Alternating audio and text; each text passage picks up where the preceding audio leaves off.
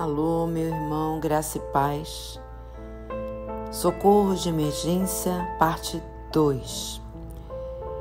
De certo modo, a opulência nos fracos morais torna-os ávaros, indiferentes, soberbos, assim como a miséria os faz agressivos, impiedosos, violentos ou mesmo perversos.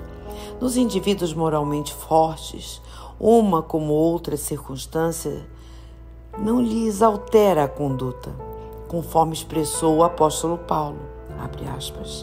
Sei estar abatido, sei também ter abundância. Em toda a maneira, em todas as coisas, estou instruído, tanto a ter fartura como a ter fome, tanto a ter abundância como a padecer o necessário. Fecha aspas.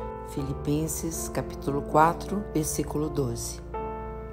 Alguém que alcança esse nível de equilíbrio é imbatível, qual ocorreu com o incomparável servidor de Jesus, que permaneceu sempre o mesmo, desde que se conscientizou da responsabilidade que lhe cumpria realizar, como divulgador e exemplo do Evangelho. No exercício da mediunidade iluminada pelo Espiritismo, a renúncia aos destaques, às glórias humanas, a humildade natural espontânea, a ação do bem, a gratuidade dos seus serviços, a honradez e seriedade moral constituem características essenciais ao bom servidor. Convidado médio à autorreparação, a autoiluminação, a sua meta, não são os bens que deixam desencarnar, mas os valores íntimos que sempre conduzirá. Enganam-se todos aqueles que fazem o contrário ou estimulam, apoiam a insensatez, a ambição, a vaidade dos médios, tornando-se-lhes verdadeiros inimigos do crescimento, do crescimento espiritual e moral mesmo que seu desejo seja outro. Não fazemos apologia do sofrimento. No entanto, não podemos igualmente ignorar os benefícios que ele proporciona, quando compreendido e enfrentado com elevação, com sentimentos nobres. Na conversação que mantivemos com Fernando a respeito de Davi em perigo, o amigo relatou-me as dificuldades morais em que o mesmo se encontrava a par da cilada que estava sendo urdida para pôr fim ao seu ministério, criando uma situação embaraçosa para os seus amigos e, de certo modo, canhestra para o bom nome do Espiritismo. Como, porém, os escândalos são de breve duração, logo sucedido por outros, e a memória terrestre é curta, os danos que o insucesso trágico pudesse causar não seriam de grande monta.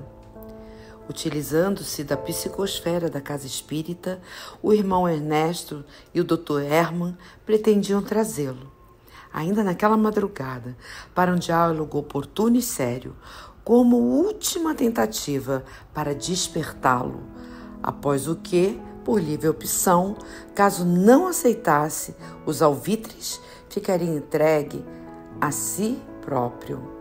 Para a consumação do plano, nosso mentor iria consultar o diretor da instituição, o irmão Vicente, pedindo-lhe licença para usar as instalações físicas e espirituais do recinto, dedicado aos labores mediúnicos, em face das suas defesas contra quaisquer agressões, porventura premeditadas.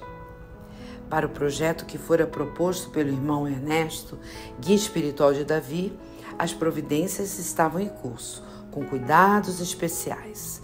Pude perceber no companheiro que narrou a próxima programação inusitada uma preocupação no ar, pois sabia da complexidade do caso, por envolver interesses do chefe mongol desejoso de desarticular as elevadas tarefas de libertação que cabe ao Espiritismo em relação às criaturas humanas, influenciando a sociedade do futuro na sua grande transformação, quando o planeta passará à condição de mundo de regeneração.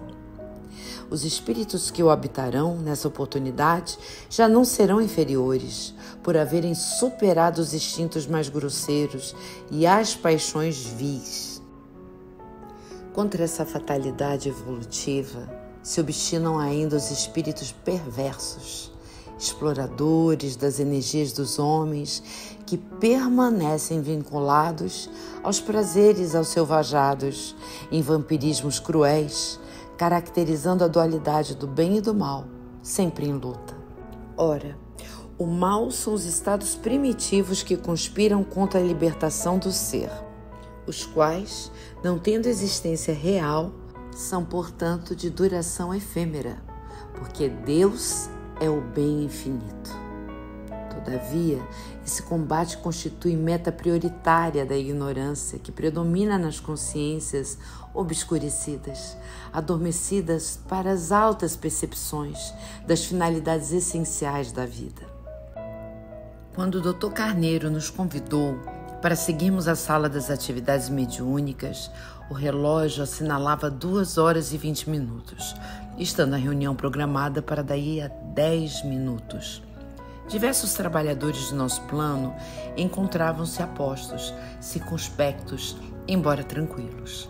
É que a confiança irrestrita em Deus convida à harmonia, mas também à responsabilidade Enquanto aguardávamos a chegada dos participantes da atividade em pauta, Fernando acercou-se-me e gentilmente entreteceu considerações valiosas. Quando as criaturas encarnadas, esclareceu, buscarem sintonizar conscientemente com as esferas superiores da vida, muitos dos problemas que as angustiam serão solucionados porquanto, ao retornarem ao corpo físico após a comunicação com seus guias e protetores durante o sono, guardarão lucidez da convivência e das instruções que receberam.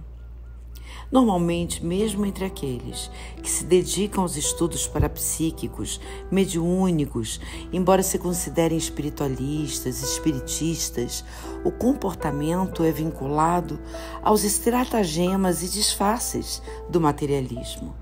A incerteza da interdependência do espírito ao corpo, o ativismo religioso mediante o qual inúmeros crentes aceitam o céu. Porém, preferem desfrutar a terra.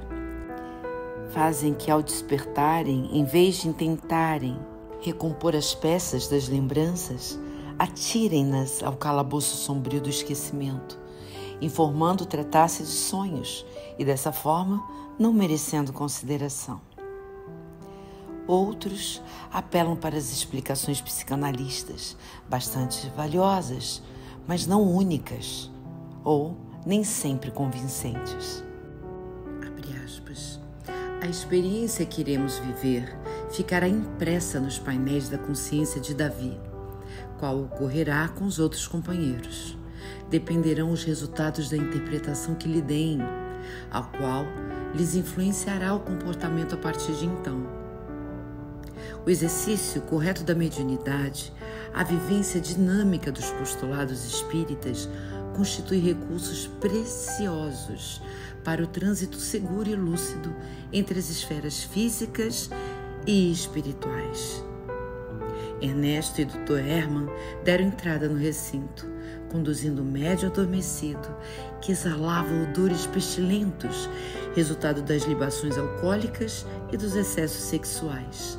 Imantado em seu perispírito, identificamos um ser amorfo, lânguido, desagradável, que se apresentava igualmente intoxicado. Um abraço, meu irmão. Até amanhã, se Deus quiser e Ele quer. Com a terceira parte do livro Trilhas da Libertação, por Manuel Filomeno de Miranda, uma psicografia de Divaldo Franco, no capítulo Socorros de Emergência. Até mais.